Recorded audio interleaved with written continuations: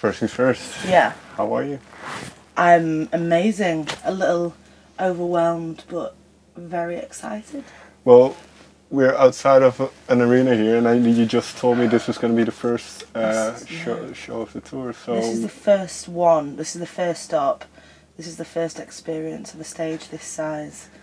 Yeah. What's going through your mind all day today? Um, uh, it's Father's Day, isn't it? so my Okay. dad's my dad's here, okay. um, and my dad has been like my number one fan supporter, as majority of fathers would be, and he's turning up today. And even though we're going to be in front of thousands of people, um, today is for my dad. So it's a bit emotion. oh god, it's a bit emotional. So you're going to look for him in the crowd. I'm going to look for him. It's a very, you know, very emotional day, and I think the boys feel the same. I think it's just trying to keep our emotions under wrap, um, and we kind of want to, you know, make Pink and her team proud that they picked us, and we just want to do it justice. Um, very excited. Well, before we uh, get into the music um, and, and that you're making now, I kind of want to talk about what got you here. So, uh, so well, you mentioned your dad and him being your biggest fan. So, Yeah. what kind of music was played back home? Was he a big music fan? Oh God, yeah. Uh, huge music fan. We we had Zeppelin, the Beatles, uh, Little Richard, all the way over to Oasis, Ocean Colour Scene, then back to Shirley Bassey and Bjork.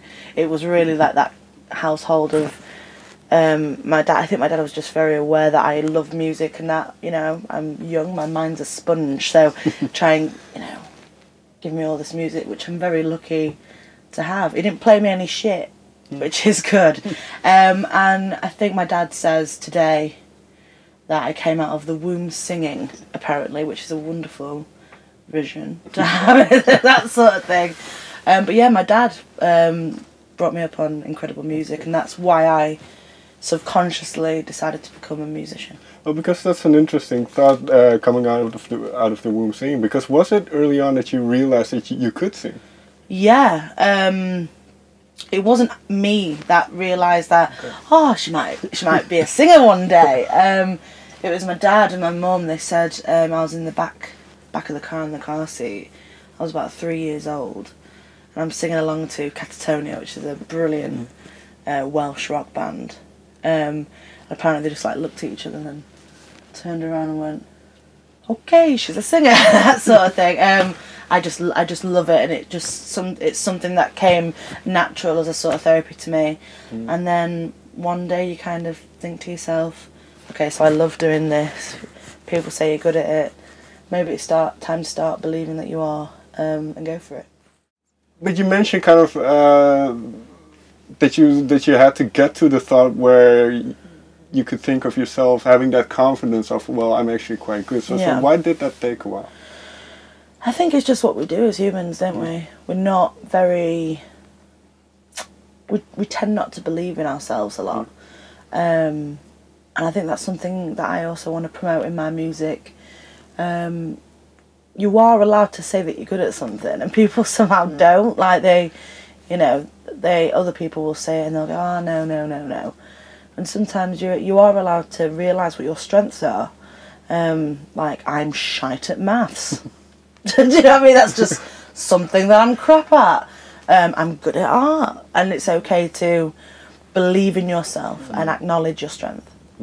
So was it immediately? I, I don't know around with, with what age this was, but was it immediately like I'm going to be a singer and then that's Yeah, pretty much. I'm sold. Yeah, from you know starting primary school, that's what I was going to do. I think I had a brief moment of wanting to be a vet. Uh, this is only about two weeks long, and then I saw a tarantula on this vet program. Nah, back to singing. nah, not doing that. Um, yeah, it's just something that. Yeah, when I set my mind on something, it's going to happen. And There's no, also- there's no way around it. It's happening. well, that's a that's Yeah. a good uh, mentality to Thank have. you. I suppose. Um, and then something else you said that, that I find in, interesting. You mentioned that. Um, I- that slipped my mind. Thought trailers completely Yeah, thought trail's gone. Um, it just, just, I, am I'm, I'm gonna It's get an interesting now. conversation now, you see. Just, just uh, give me one second, because uh, No there was worries. one. s- s- Oh yeah, I got it. Yeah. So you mentioned also that it was kind of like a therapy for you. So, so Yeah. what role did music play for you as you grew up? Um, it was, and it still is, a friend. Um, people have diaries. Um, I had music, um, and it's a way of expressing myself. Um, when I go on stage, I call it my therapy sessions because I, I leave everything in me on the floor.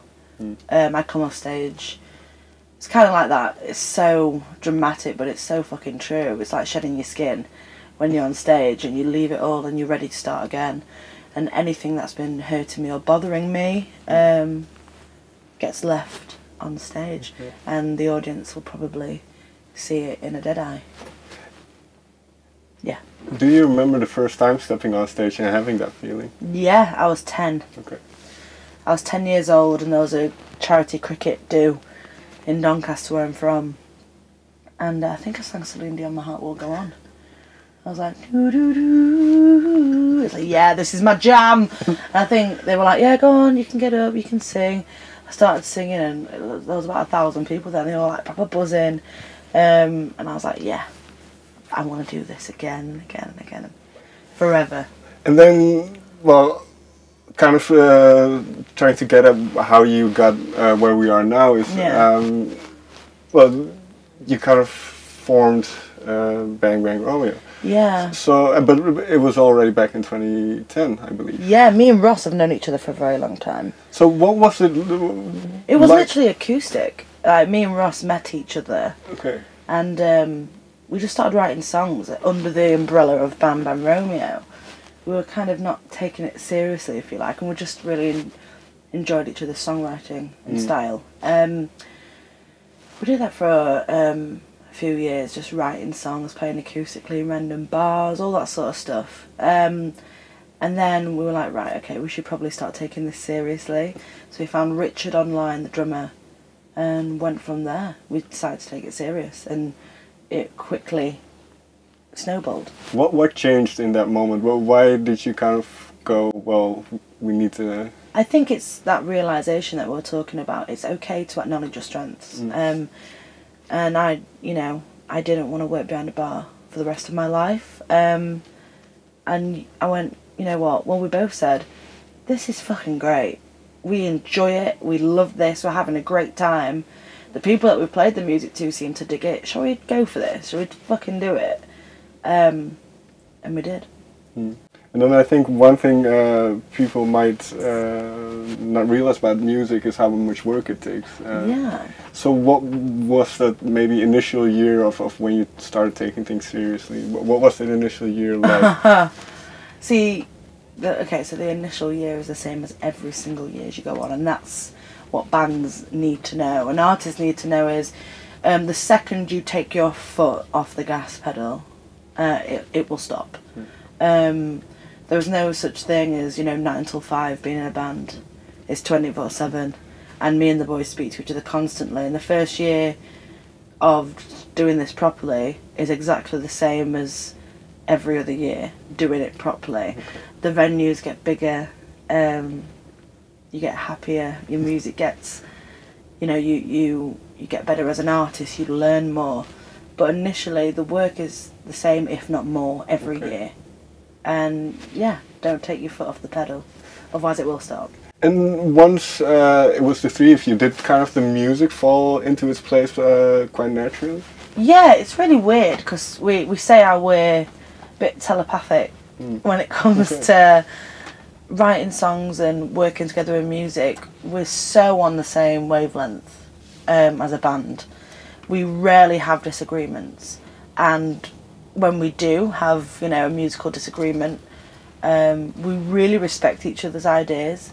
So it's one of those "Ah, he doesn't like it, but there's got to be a reason for that, and we yeah we telepathically have that sort of. We'll be playing in the in the studio, and I'll be about to say to Ross, Ross, try this, and he'll already do it. I'm like, yes, got it bang on. Um, yeah, we work well. So no egos involved. No, Very good. No, in fact, no. Richard, the drummer's got a bit of an ego. we call him Bitchard. uh, Jordan's looking at me like, I'm going to tell him he said that. Yeah. Um, but with uh, with the music and then then kind of uh, people start uh, finding it and then Yeah. enjoying it. Uh, does your kind of mindset shift as the as kind of with each year as as things get bigger and um, does your kind of the the bar you set for yourself does Yeah. that change a little bit? um, as a band, we're super perfectionists. Um, so the bar every year must be raised, and that's just our mentality of it. Um, we probably give ourselves a hard time um, because we constantly want to do better than the last show. You're only as good as your last gig or your last song, and that's our very strong opinion. And we just we constantly want to set this precedent for ourselves. But at the same time, I think we've come to realise actually really enjoy the moment, live for the moment, and that's what we've kind of learnt over the last couple of years, especially. Um, and you know, like today, um, we're supporting Pink in Amsterdam at Johan Cruyff in about four hours' time, and I'm gonna be totally in the moment. And right now, I'll sat here with you, be in the moment, enjoy it, stop panicking. Um, yeah, just enjoy it more. And then I want to get into the music a little bit because, um, well, I'm not sure. Is, is there a release date for the for the debut album? Uh, de- well, it's coming out in a couple of months. There's not. A, there's No, not. there's a, no set. Yeah, there's no date, set okay. date, but it's it's this year. Okay, because, because uh, well, some of the songs we know, some of the songs we Yeah. don't know. But the, uh, how should I? How should people kind of see this album? Is this kind of uh, the band up up until now? Um, yeah, I think the same with a lot of bands' music. These are the songs that we've had in our diaries since being, you know, babies, sort of thing. but then there's also songs that are completely brand new, uh, like just written out in LA and New York. Um, this album is everything that we are as a band. It's tragic, it's fun, it's hard hitting, and it's very emotional. And we are on stage, all those things, extremely theatrical, emotional. And we don't, you know, guard our emotions. So we've decided not to do that on this album. Uh, it's a Heartbreaker's Guide to the Galaxy, the title, and that's taken from a lyric from a song called Natural Born Astronaut. Um, not just with the songs, um, but visually, we've created a, a concept artistically. Um, the way that we write, we often say, doesn't this song feel like, you know, I'm in this certain place, like I'm in a, I'm in- I'm in a wood and it's foggy and it's freezing cold. I know it's quite weird, but it's how we were inspired by soundtracks that got us to that point. So we thought, why why don't we invent what the song looks like? So each song on the album has its own planet, designed and created by us. Uh, that's very interesting because, um, well, obviously there there is some some uh, theatrical element to the to the to the music and Yeah. or more I should say more um, atmospheric element uh, or cinematic element because you are quite um, influenced by m- movies, I believe, and, and movie soundtracks. So so. Very quickly in between, what what is one of the or a couple of your favorite mu- movie soundtracks? Oh God, Pulp Fiction, Django Unchained, Mm. anything John Barry, James Bond, and uh, Tim Burton. Mm. Uh, Nightmare Before Christmas. And then with that idea, because like you say, everything has kind of this visual element. Then uh, is that how you? Because I ask this uh, from artists from time to time, because some have a very visual uh, connection with the music. So I can assume that's the case with you. Yeah, totally. Um, we feel that the visual aspect with music is is just as important as listening. It really is. I mean, even down to shows, you're there for a show, and I think that's like exactly what Pink embodies. you know, her show isn't just her beautiful voice and songs; it's what she's doing. She's putting on a show. Um, you know, this is what Hendrix did. This is what Freddie did. It's James Brown. It's Meatloaf. This is what it is, and we've tried our best to take what we do live and compile it into this teeny tiny little CD.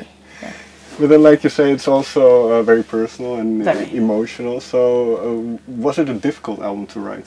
Um, no. Again, it's like therapy sessions. Okay. So actually, the writing is probably the easiest thing Okay. I do all day. It just comes to me. Um, it comes to Ross as well. It's if we didn't write, I think we'd go a bit insane. So it's just, I think it wasn't hard to write, but sometimes it's hard to put it out Mm. because it's so personal. Sure. So you go, oh, these are thoughts that I've had on my own, and now everyone's going to hear it. It's just, you know, believe in yourself in it.